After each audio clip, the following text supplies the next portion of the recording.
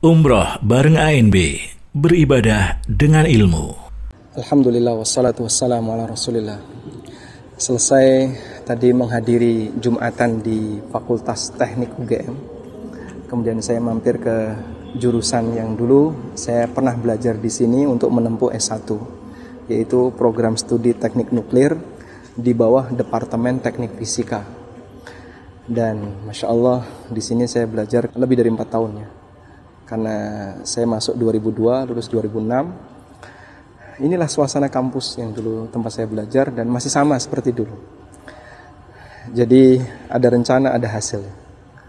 Dulu mungkin nggak kepikiran kalau nantinya saya akan bergerak di dunia dakwah ketika saya belajar di kampus ini.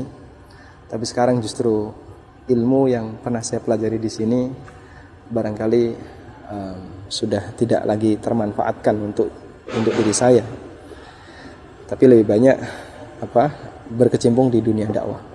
Jadi hidup bisa jadi kita punya rencana tapi hasil Allah Subhanahu wa taala yang menentukan dan bagi saya mengalir saja. Wallahu alam. Sallallahu ala nabiyina Muhammadin wa ala alihi wa sahbihi wasallam